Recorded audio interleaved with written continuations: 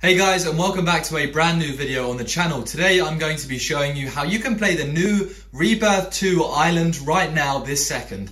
Firstly, turn on your PlayStation as I've done right now. It will open up to the download section if you have the Modern Warfare 2 installed and then it will download the new update file for Call of Duty. As you can see here, mine was installed 34 minutes ago. I'm going to go ahead and tap start. As I tap start, it will open up to Call of Duty Warzone 2 Season 2. They've finally got a new season out. Skip through and open up to the Warzone 2 menu. Once the updates are done, you're going to enter into this title screen and this movie screen. We simply are then going to sit through this. Now, once you watch the whole movie sequence, you might get this message again that says, Modern Warfare 2 not available. Just ignore it, press back, scroll down, and you'll see that you're able to play Resurgence Quads. Finally, the mode that we've all been waiting for is finally here. Select the, and then select install all of the additional packs that we now need to install, right?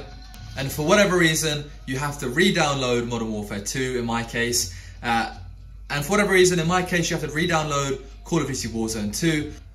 So once you've installed that file, simply head back over to Resurgence Quads, select X, and then that error message that we previously got about having nothing loaded up should disappear and we can jump straight into Resurgence Quads. Now, you get you don't need to buy Call of Duty Modern Warfare 2 to be able to play the game. You just have to install an extra pack so that all of the uh, data required is available. And my friends, that is how you play Call of Duty Rebirth Island in 2023 on Warzone 2.0. I hope you enjoyed and stay tuned for my next gameplay. Thank you.